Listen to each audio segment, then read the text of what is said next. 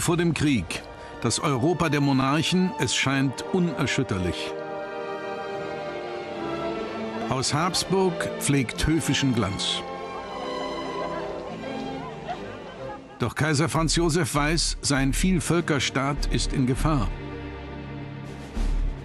Bosnier und Serben fordern Unabhängigkeit auf dem Balkan. Russland unterstützt die Serben gegen Wien. Die Russen fühlen sich den slawischen Brüdern verpflichtet. Zar Nikolaus II. baut seine Armee zur Schutzmacht auf. Auch das Deutsche Reich rüstet mit, es fühlt sich eingekreist. In Nibelungentreue fest steht Kaiser Wilhelm zu Franz Josef, der den Krisenherd des Balkan fürchtet. Das hat er meiner Mutter auch gesagt. Er hat also schon erkannt, dass die Situation eine äußerst kritische war.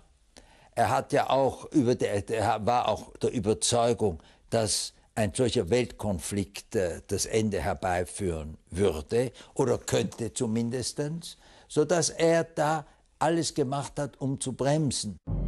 Der Neffe des Kaisers, Erzherzog Franz Ferdinand, will mehr. Die kurz gehaltenen Balkanvölker etwas von der Leine lassen, um das Imperium als Ganzes zu retten, als Vereinigte Staaten von Großösterreich.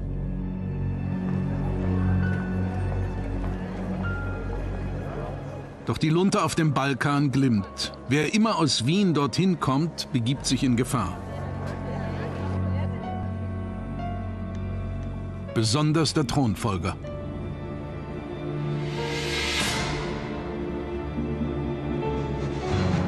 Juni 1914.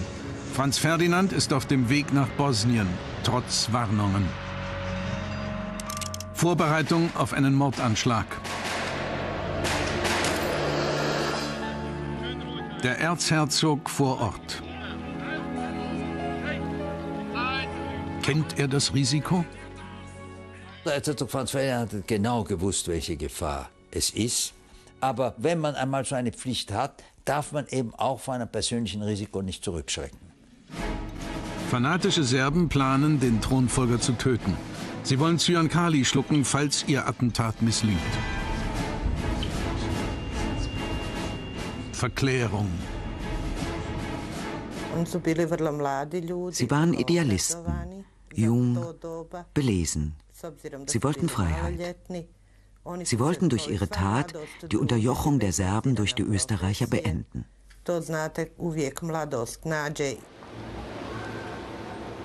28. Juni. Franz Ferdinand und seine Frau in Sarajevo am serbischen Nationalfeiertag. 10.10 Uhr. Der Konvoi passiert den Appelkai. Dort warten sechs Attentäter an verschiedenen Stellen.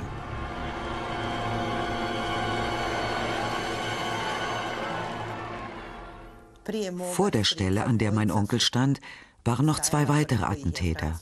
Doch die reagierten nicht, als Franz Ferdinand in seinem Auto vorbeifuhr. Mein Onkel aber nahm seine Handgranate und warf sie.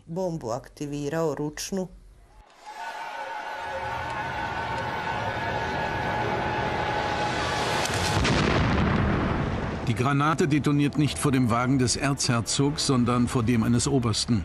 Der Thronfolger und seine Frau bleiben unverletzt.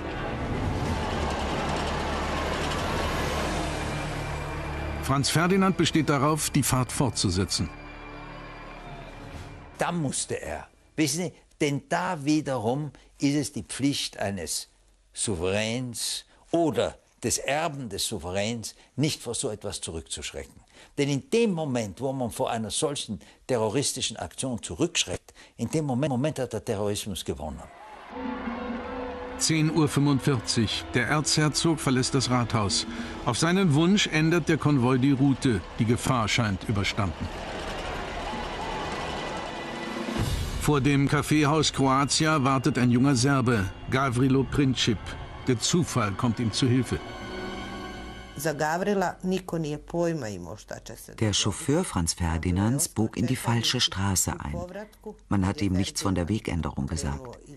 Der Thronfolger ließ den Wagen wenden. Genau an dieser Stelle stand Princip.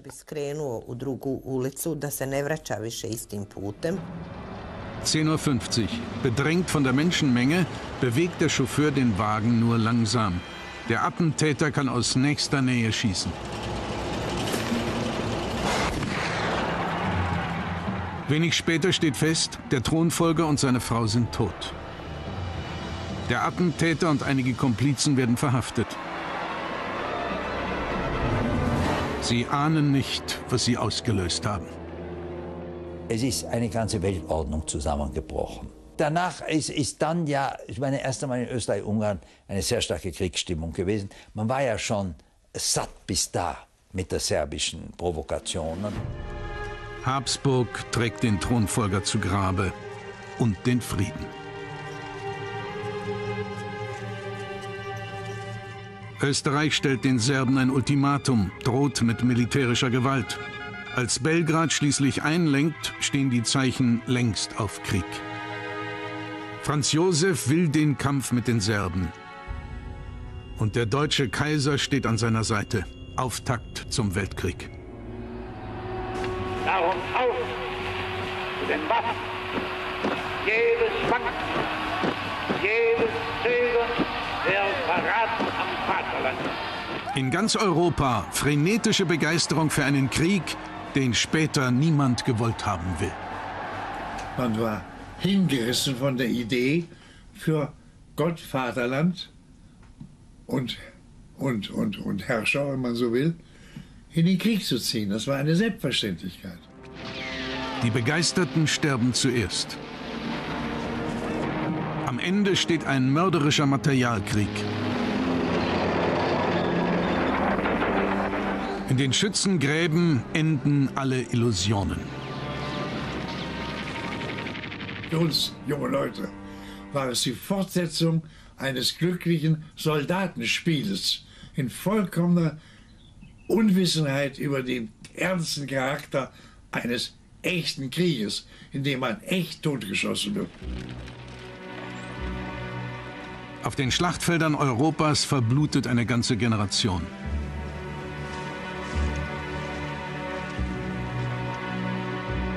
Neun Millionen Tote.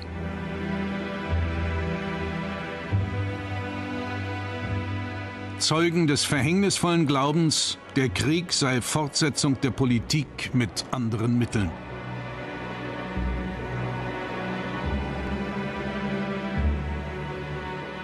Opfer eines Weltenbrandes, den zwei Todesschüsse auslösten. Die Urkatastrophe des 20. Jahrhunderts.